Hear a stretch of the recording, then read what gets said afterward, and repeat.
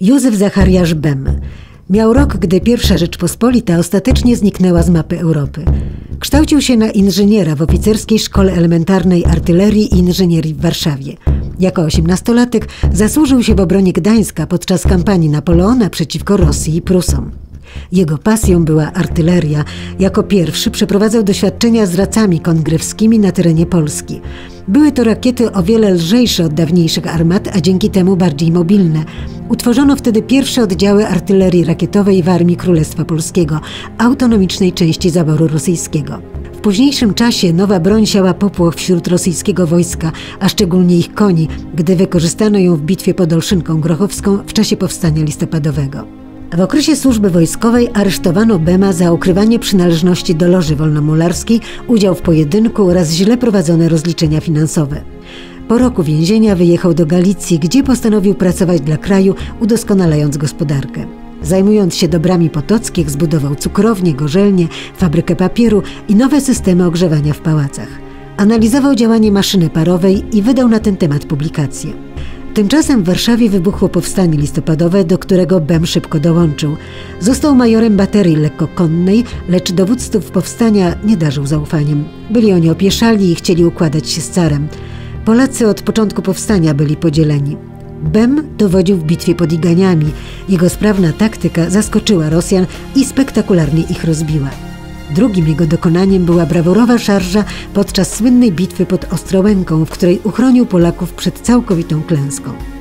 Koniec końców jednak Warszawa nie utrzymała się pod naporem Rosjan i powstanie upadło. Wtedy Bem zaczął szukać finansów na sprowadzenie polskich żołnierzy do Francji. Chciał stworzyć na emigracji dziesięciotysięczne wojsko polskie, które mogłoby walczyć o wolność kraju w ewentualnym europejskim konflikcie. Po nieudanych próbach stworzenia polskiego korpusu w Portugalii, które wpędziły Bema w długi, wzgardzony przez pobratymców, skierował swoje wysiłki w stronę działalności pozytywistycznej. Założył towarzystwo techniczne, mające kształcić Polaków na emigracji i pomagać w znajdowaniu dlań pracy. Uważał, że powinni studiować najnowszych technologie, takie jak nowoczesna broń, nowe techniki budowania dróg i mostów oraz użytkowanie maszyny parowej, by potem tę wiedzę przenieść do ojczyzny i pracować na jej rzecz. Nadszedł rok 1848, Europejska Wiosna Ludów. Szereg zbrojnych wystąpień, w których idee reform społecznych, takich jak uwłaszczenie chłopów i równość wobec prawa, mieszały się z myślą narodowo-wyzwoleńczą.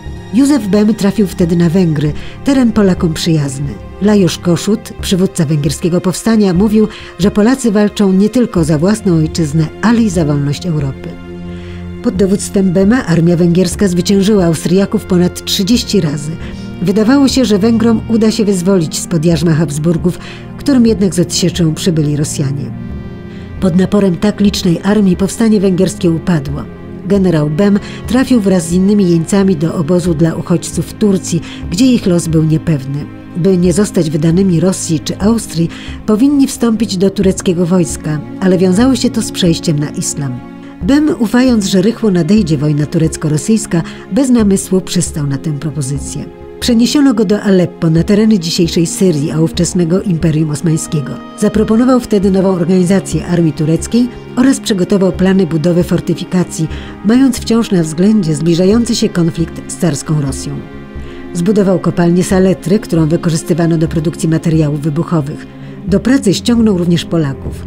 Gdy Beduini zaatakowali Aleppo, aby splądrować miasto, przeprowadził brawurową obronę, odpychając buntowników. Był to jego ostatni wojskowy spektakularny wyczyn. Józef Bem zmarł w 1850 roku na malarię azjatycką. Został pochowany na syryjskim cmentarzu bez specjalnych honorów. Już w wolnej Polsce w 1926 roku rozpoczęto starania o przeniesienie bohatera do ojczyzny. Ciało ekshumowano i transportowano przez całą Europę. Ze szczególnymi honorami witano je w Budapeszcie. Bema pochowano w rodzinnym Tarnowie. Jego mauzoleum to sarkofag wsparty na sześciu koreńskich kolumnach, ustawiony nad powierzchnią stawu w Parku Strzeleckim. Otoczony jest kamiennymi kulami symbolizującymi kule armatnie połączone łańcuchami przetopionymi z armat. Podobno muzułmanin nie może być pochowany na nieislamskiej ziemi, dlatego ciało Bema nie spoczęło na żadnym z polskich cmentarzy. Leży on zatem nad ziemią, unosi się wysoko w powietrzu tak samo, jak unosiły się jego fantastyczne wizje, które przez wielu były niezrozumiane. Niewiele wiadomo o życiu osobistym Józefa Bema. Nigdy się nie ożenił, nie miał także dzieci. Ze wspomnień i listów wynika, że był umysłem wizjonerskim, ale i samotnikiem. Nie zrażały go porażki i liczne rany poniesione podczas bitew. Był odważny, ale i bezwzględny. Nie liczył się z ofiarami, ryzykował. Najważniejsze było osiągnięcie celu odzyskanie przez Polskę niepodległości. A to, co miało być środkiem do niego, czyli wspieranie innych narodów w walce przeciwko ciemiężycielom, okazało się jego największym dokonaniem.